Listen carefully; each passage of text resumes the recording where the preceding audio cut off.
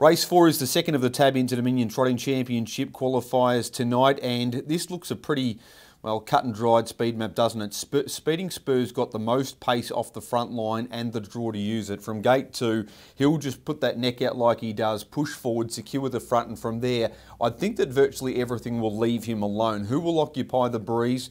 I think it's probably between Monty Python and Maori Law. We saw that Maori Law was probably found out a little bit in the Bill Collins mile at Group 1 level, but back to the middle trip here. I think they'll roll forward, even though it's been a while between races, and try and occupy the breeze here. He's performed performed exceptionally well in the past from that position, winning four of the six times that he has been outside the leader. Monty Python shouldn't be too far off the speed. I expect Anthony Butt to roll forward with that Phil Williamson trained Kiwi conveyance. Enrolled might be the first one to pull three wide here. Certainly from a second row perspective, the key runner is probably Red Hot Tooth and a little bit like Kyvalley Blur. She's going to want to secure the appropriate trail into the race. I don't think she'll be suited to coming three wide without cover.